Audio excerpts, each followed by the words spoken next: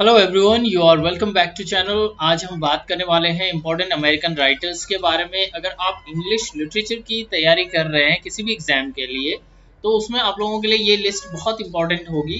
American writers में कई बार हमारे दिमाग में क्वेश्चन होता है कि कौन से राइटर्स हम पढ़ें और कौन से वर्क्स इंपॉर्टेंट वर्क्स हमें पढ़ने चाहिए। तो ये अगर आप इतने वर्क्स कर लेते हैं तो आपका जो अमेरिकन लिटरेचर है वो आपका काफ़ी हद तक ठीक हो जाएगा, ठीक है? मैंने आप लोगों के लिए एक शॉर्ट ट्रिक भी इस पूरी जो पीडीएफ का ये वाला पार्ट था जैसा कि आप लोगों को पता है कि मैं अभी आप लोगों को एलटी एग्ज़ाम के जो नोट्स हैं, उनसे ही स्टडी करवा रहा हूँ।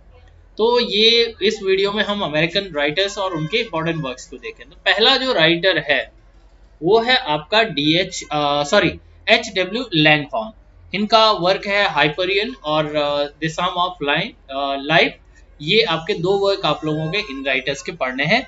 और इसके बाद आता है वॉल्ट विटमैन वॉल्ट विटमैन के leaves of grass songs of myself I hear American singing तीन वर्क आप लोगों को करने हैं। Ralph Waldo Emerson the nation builder Brahma the American scholar ये तीन आप लोगों को वर्क करने हैं। फिर उसके बाद है आप लोगों का इंपॉर्टेंट राइटर नेथनल हाउसर इनका वर्क है द स्कॉलेट प्लेटर बहुत इंपॉर्टेंट है।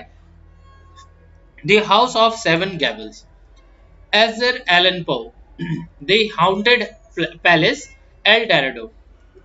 देखिए, ये ऐसा नहीं है कि इंग्लिश लिटरेचर में आपको अमेरिकन इंग्लिश लिटरेचर में आपको सिर्फ़ यही पढ़ना है आप उसकी जो हिस्ट्री है, उसे आप बैकग्राउंड अगर अच्छे से तैयारी कर लेते हैं तो हिस्ट्री का और बैकग्राउंड की तैयारी, ठीक है ये आप लोगों को क्या करनी चाहिए पढ़नी ही चाहिए चाहे आप हिस्ट्री ऑफ़ इंग्लिश लिटरेचर पढ़ रहे हैं या आप अफ्रीकन अमेरिकन अफ्रीकन लिटरेचर पढ़ रहे हैं अमेरिकन या कोई और पढ़ रहे हैं ठीक है? उसकी इंडियन राइटिंग्स इन इंग्लिश पढ़ रहे हैं। तो आप लोगों को हिस्ट्री और बैकग्राउंड भी ज़रूर पढ़ना चाहिए।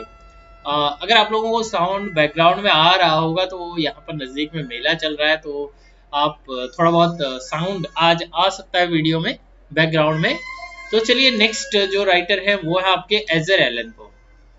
उनका है the haunted palace El Dorado Oliver Wendell Holmes इनका वर्क है break table series the deacon's masterpiece and the wonder one horse से अगला जो टिप है आप लोगों के लिए, वो आप लोगों को समझना बहुत ज़रूरी है कि जब हम यूजीसी नेट की तैयारी कर रहे होते हैं, ठीक है?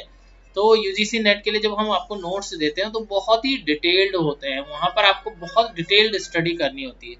यहाँ पर जब हम टीजीटी या पीजीटी लेवल की बात करें और एलटी जो है एलटी एग्ज़ाम की बात करें लेक्चरर की बात करें तो वहाँ पर आपका फैक्ट वाइज आप, आपको तैयारी करनी होती है। यहाँ पर बहुत डिटेल्ड आप लोगों को चीज़ें नहीं पूछी जाती है। लेकिन, कहीं ना कहीं जो डिटेल स्टडी होती है, अगर हमने की है तो हमारे पास एक ऑप्शन होता है आंसर्स को एनालाइज करने का।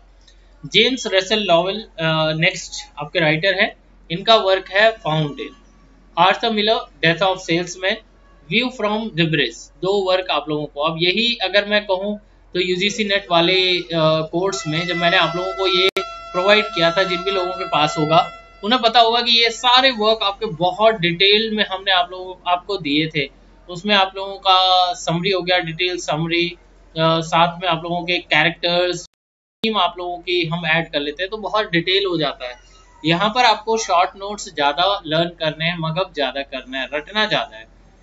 अर्नेस्ट हैमिंग वे इनका है the old man and the sea बहुत इंपॉर्टेंट वर्क है। The farewell to arms Herman Melville इनका जो वर्क है मॉबिडिक इसकी समरी आप लोगों को ज़रूर देख लेनी चाहिए। ऑलरेडी बनाई हुई है चैनल पर Tennessee William the glass menagerie glass menagerie ये भी एक इम्पोर्टेंट uh, वर्क है अमेरिकन इंग्लिश लिटरेचर का। उसके बाद आ जाते हैं Eugene O'Neill and the murder in the mall TGT PGT के लिए आपको क्या करना है? चीज़ों को रटना बहुत ज़रूरी है। इस पूरी पीडीएफ को अगर आप लर्न करना चाहते हैं तो आप एक ही ट्रिक यूज़ कीजिए, उसमें आप कार्ड्स बनाइए। जैसे कि एक तरफ़ लिख लीजिए दी हेरी एप लिख लीजिए, और the murder in the mall लिख लीजिए, और दूसरी तरफ़ यूजिन ओ नाइल लिख लीजिए। तो जब भी आप ये कार्ड देखेंगे कि यूजिन ऑन आयल तो उसके पीछे कार्ड के पीछे आप लोगों को ये आपको इमेजिन करना है और इन चीज़ों को बार बार रटना है जिससे चीज़ें याद हो जाए। Henry James the portrait of a lady and golden bowl John Steinbeck east of Eden the grapes of wrath Robert Frost stopping by wood on a snowy evening Sylvia Plath बहुत इंपॉर्टेंट राइटर है.